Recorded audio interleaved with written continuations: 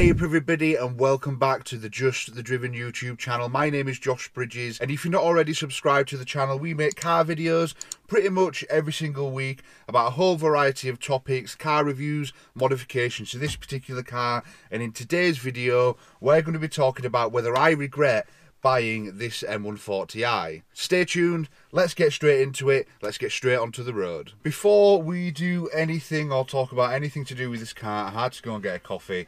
Um, it is Sunday morning. I can't function without coffee whatsoever. But now we've got that, we can get on the road and start talking about what this video is actually about. So we are actually in Leeds City Centre at the moment and we've come to do a little bit of Christmas and birthday shopping and I thought this would be a pretty fun video to do just explaining if I regret buying the M140i and I think regrets quite a strong word to use. However since owning the car I think we bought it back in late January early February. We've made quite a few changes. We've given the car stage 1 remap. We've wrapped the car. We've unwrapped the car. We've taken out the resonators we've done some changes on the interior. And there's plenty more where that came from. So it's fair to say that the car that we're sat in today is completely different to the standard M140i. However, there are a couple of things that I wish I would have taken into consideration before buying this car, and one of them things is the spec that you can get.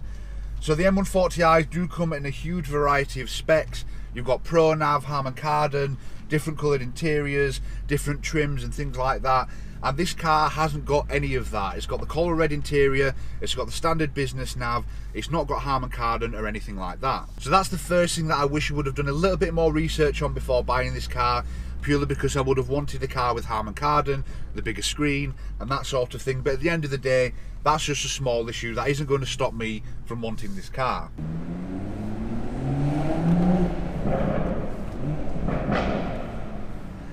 I will never ever get bored of that. We're just going to close the window up because there's a couple more things that I want to talk about and one of them things comes in the package of an M2. So when I was looking at buying an M140i I had the opportunity to buy an M2. Now this particular M2 had just been stolen which is unfortunate However, the owner was looking to get rid of it, and funnily enough, the owner is my boss at work. Now, he was going to give him that car at a fairly good price after looking at what the part exchanges would have given him, um, and I passed up on the opportunity and just before he got rid of it I bought this M140i. It was a very nicely spec car so it had the M Performance back box with Bluetooth control in the back of the car. It was mineral grey, the same as my M140i. It had the carbon interior. It didn't have the carbon exterior pack which is something you could have added on anyway. Uh, but in general it was a low mileage, decently sorted OG M2. Now I do kind of regret missing out on that opportunity simply because I love the M2s, and it's only since that I've had this M140i that my love for the M2 has grown massively. And it's a very, very, very good contender for the next car for this channel, and it might be coming slightly sooner than we think. However, not in the immediate future. We're going to be sticking with the M140i. We've got a few plans to take care of with this particular car before this car goes anywhere. And I know there's going to be some people sat there thinking, well, Josh, you can make this into a mini M car by adding a diff, adding coilovers, adding the underbody brace, adding sort of, you know, chassis strengthening in general, lightweight wheels, adding more power. But I don't think this car will ever be an M car. And that's something that I've had to come to terms with over the ownership of this car. I came into buying this M140i thinking that you could make a mini M car, you know, adding a bit of chassis strengthening, adding a bit of stiffness. But at the end of the day, the M2 and the M140i were built from the ground up to be completely different cars. I would say that the M140i is a little bit of a warm hatch, simply because cars like the Civic Type R, the new Focus ST, the i30N all have better chassis than the M140i does. And I think a lot of owners will agree with me, when you're pushing on in a car like that, especially if it's stage one and stage two, it feels a little bit wallowy. It goes side to side a lot and not sort of power sliding or drifting or anything like that. It just sort of floats along. Um, and it doesn't inspire a lot of confidence. And I think that is one of the key reasons why I regret buying the M140i, is because I passed up on an opportunity to buy an M2.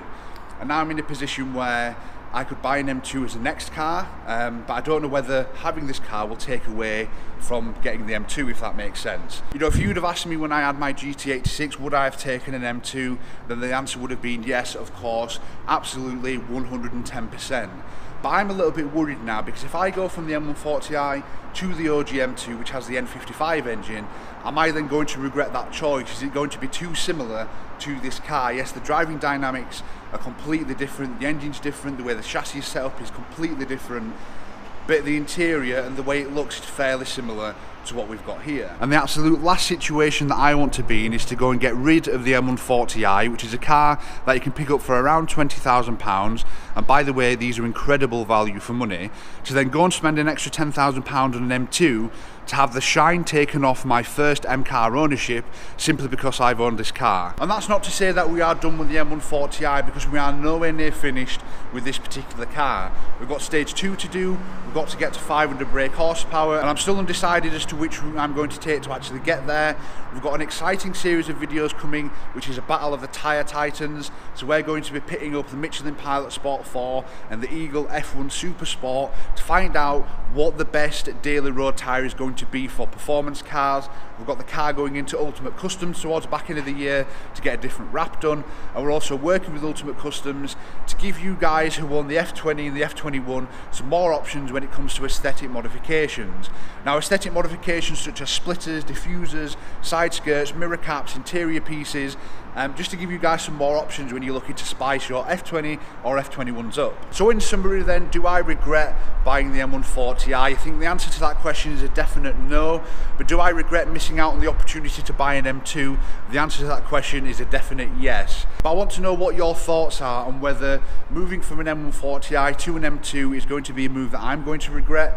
Is it going to take the shine off M car ownership purely because I've had a similar car in the past? Let me know down in the comments. But I've got some shopping to do. It's incredibly cold, it's incredibly windy up here, so apologies if you have heard some wind noise. But catch me next time in the next video, and I'll see you guys soon.